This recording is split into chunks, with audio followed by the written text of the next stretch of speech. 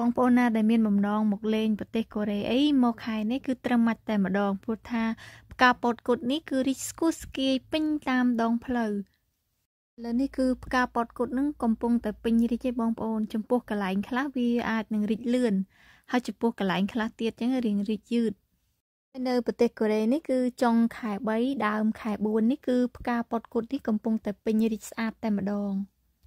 ហើយបងប្អូនណាដែលមានបំណងចង់មកមើលផ្កាពតគុតហ្នឹងមកចុងខែ3ដើមខែ4ហ្នឹងគឺត្រឹមម៉ាច់តែម្ដង គឺផ្កាកំពុងតែពេញរីកស្គុះស្គាយពេញដើមតែម្ដងបងប្អូនក្រេកមកមើលដើមឈើគឺផ្កាសក្បោះស្រស់ស្អាតខ្លាំងមែនតែននិយាយទៅនៅកូរ៉េគឺស្អាតទាំង4រដូវកាលបងប្អូនជាពិសេសគឺរដូវរដូវផ្ការីកនេះគឺស្អាតមែនតែនគឺផ្ការីកស្គុះស្គាយពេញណាពេញណីតែម្ដង បន្ទាប់ពីផុតពីរដូវផ្កាពតគុតនេះទៅនឹងមានផ្កាដតីទៀតដែលគេបានដាំធ្វើជាសួនណាបងប្អូន គឺពិតជាស្រស់ស្អាតខ្លាំងមែនទែនជាពិសេសគឺភ្ញៀវទេសចរនៅពេលដែលឃើញប្រទេសនីមួយៗស្អាត ហើយមានកន្លែងថតរូបស្អាតស្អាតចឹងគឺតែងតែចង់ទៅលេងហើយថារដូវកាលណាទេ គឺស្រស់ស្អាតគ្រប់រដូវកាលតែម្ដងដូចនៅកូរ៉េចឹងមាន4រដូវកាល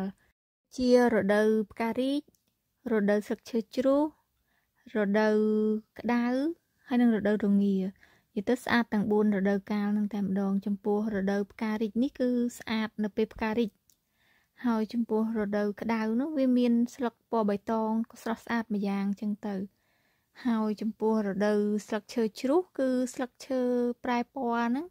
មុនវាជ្រុះវាប្រែពណ៌ហើយពណ៌របស់ស្លឹកឈើហ្នឹងគឺចម្រុះពណ៌តែម្ដងគឺស្រស់ស្អាតខ្លាំង ហើយរដូវរងាហ្នឹងគឺមានព្រិលព្រិលធ្លាក់មកសក្បោះគឺស្រស់ស្អាតខ្លាំងមែនទែនរដូវរងាហ្នឹងនៅពេលដែលព្រិលធ្លាក់មកទៅលើស្លឹកឈើឬក៏មែកឈើអញ្ចឹងមើលទៅស្អាតមែនទែនដូចផ្កាព្រិលអញ្ចឹងបងប្អូនឥឡូវនេះខ្ញុំនាំបងប្អូនទៅមើលដើម ផ្កាពតគុតនៅខាងមុខនោះបងប្អូនមើលរីកឡើងស្គុះស្គាយហ្មងមកដើមពីដើមនេះគឺ វារីកអស់ទៅមើលទៅគឺស្អាតមែនតែនបងប្អូនមកមើលដើមហើយនឹងមែកផ្កាហើយនៅពេលដែលយើងដើរនៅក្រោមដើមហើយមែករបស់វានឹងគឺផ្ការបស់វាក៏ចំស្អាតមែនតែនជាពិសេសយើងថតពីក្រោមយ៉ាងទៅលើអញ្ចឹងគឺឃើញផ្ទៃមេឃពណ៌ផ្ទៃមេឃអញ្ចឹងហើយផ្កាហ្នឹងវាពណ៌សអញ្ចឹងវាធ្វើឲ្យផ្កាហ្នឹងវាកាន់តែលេចរូបរាងមកស្អាតតែម្ដងវាចាំងជាមួយនឹងផ្ទៃមេឃ សារតែនៅប្រទេសកូរ៉េឥឡូវវាលែងសូវត្រជាក់ខ្លាំងដូចពុនដូច្នេះហើយបានជាផ្កាហ្នឹងរីកច្រើនដោយសារតែខ្ញុំនៅនេះអញ្ចឹងឃើញអីប្លែកអញ្ចឹងចង់ថតឲ្យបងប្អូនទស្សនាទោះបីជាមិនបានដល់មកដល់ប្រទេសកូរ៉េក៏យើងអាចទស្សនាតាមវីដេអូនានាកំសាន្តភ្នែកកំសាន្តអារម្មណ៍និយាយទៅមើលនេះមើលនោះប្លែកប្លែកពីប្រទេសគេអញ្ចឹងបងប្អូន នៅស្រុកគេនៅពេលដែលមានអីប្លែកប្លែកឬក៏មានអីស្អាតប្លែកអញ្ចឹងគឺតែងតែចង់ចែករំលែកឲ្យបងប្អូននឹងបានមើលឃើញដែរហើយម្សិលមិញហ្នឹងគឺខ្ញុំបានទៅមើលផ្កាពតគុតនេះជាមួយប្តីឲ្យគាត់ជូនទៅមើលប៉ុន្តែកូនកូនអត់បានទៅទេដោយសារតែជាប់ទៅរៀនតែអាដើមផ្កាពតគុតនេះបងប្អូននៅពេលដែលរដូវស្លឹកឈើប្រែពណ៌វិញ គឺស្លឹករបស់វាហ្នឹងគឺប្រែពណ៌ស្អាតមែនតើនិយាយទៅ រដូវផ្ការីកក៏ស្អាតអារដូវស្លឹកឈើប្រែពណ៌ហ្នឹងក៏ស្អាតដែរនិយាយទៅដើមវាហ្នឹង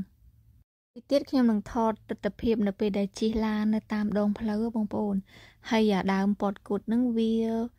វាបែកមែកប្រក់ផ្លូវមកហើយពេលដែលយើងថតជិះនៅតាមដងផ្លូវទៅមើលទៅយីវាស្អាត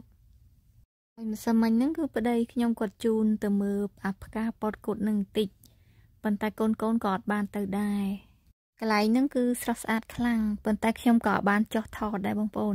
ប៉ុន្តែនៅពេលដែលជិះតាមដងផ្លូវទៅរហូតចឹងទៅផ្កាហ្នឹងវាប្រកនៅតាមផ្លូវហ្នឹងបែបហ្នឹងរហូតទៅទៅដើមផ្កាហ្នឹងវាផ្កាតាំងពីក្រោមរហូតតទៅដល់ចុងមែកវានិ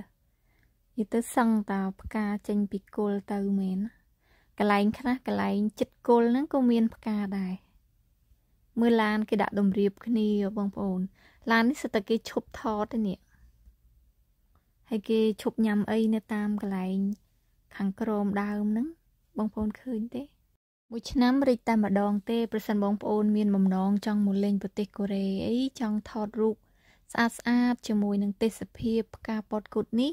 បងប្អូនមកខែ4ដឹងតែត្រូវមាច់តែម្ដងបងប្អូនដែលបានទស្សនាវីដេអូខ្ញុំប្រសិនបើបងប្អូនចូលចិត្តវីដេអូនេះ បងប្អូនក៏អាច share ចែករំលែកទៅកាន់មិត្តភ័ក្តិឬដើម្បីឲ្យពួកគាត់បានឃើញអំពីវីដេអូខ្លះៗនៅក្នុងប្រទេសកូរ៉េរូបភាពទស្សនភាព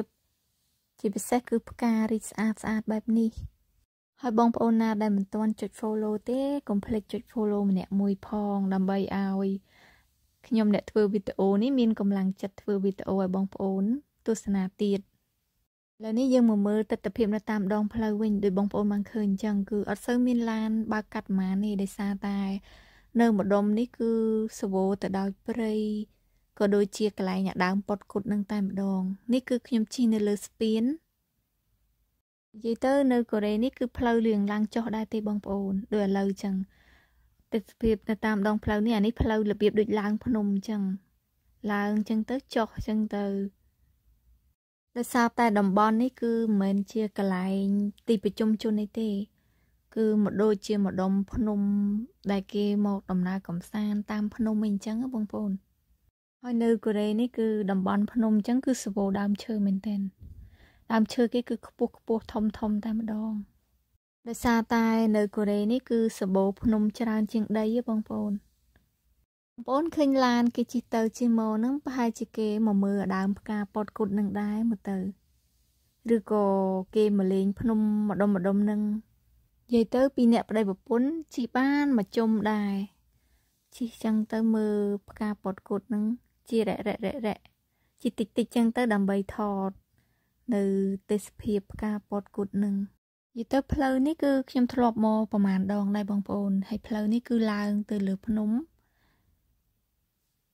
ហើយនៅខាងលើហ្នឹងលក្ខណៈថាមានកន្លែងទេសចររបស់គេចឹងទៅហើយគេមានកន្លែងញ៉ាំអីដែរហើយកន្លែងហ្នឹងផងដែរខ្ញុំទៅដូចជាខែក្តៅឥឡូវនេះចូលដល់រដូវផ្ការីកដល់ពេលរដូវផុតពីរដូវផ្ការីកមកបានទៅចូលជារដូវក្តៅចាប់ផ្ដើមអាកាសធាតុប្រែប្រួលក៏ទៅអារដូវរងារងាខ្លាំងអញ្ចឹងទៅដល់ពេលរដូវក្តៅក្តៅខ្លាំងដែរហ្នឹង និយាយទៅអាកាសធាតុដែលល្អហ្នឹងគឺរដូវផ្ការីកនេះឯងគឺអាកាសធាតុវាត្រជាក់ល្មមវាមិនស្ងួតវាមិនអក្តៅហែងខ្លាំងនិយាយទៅវាមិនល្មមតែម្ដងបន្ទាប់ពីបងប្អូនទស្សនាវីដេអូរបស់ខ្ញុំហើយបងប្អូនចូលចិត្តវីដេអូមួយនេះដែរទេ